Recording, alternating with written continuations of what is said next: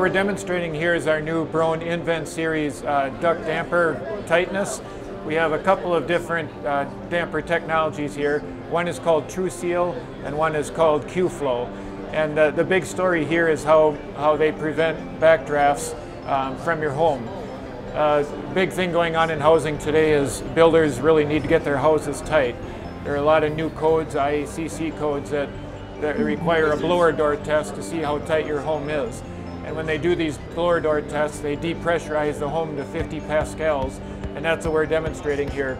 We have 50 pascals of positive pressure behind here, so we're showing how much air is going to be coming through on the inside of your bath fan when they do when they run that test.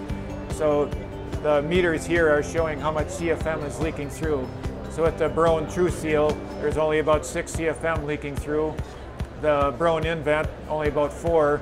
And some of the competitive units you can see are 12 to 30 CFM of leakage. So this is very important as builders spend an awful lot of money for really tight, you know, high quality doors and windows and spend a lot of money on labor to, to insulate and air seal and then something as simple as a you know ventilation fan damper can can kind of ruin it all. So when they need to hit their three ACH 50 or five ACH 50 uh, home tightness scores, this is really going to help them do that.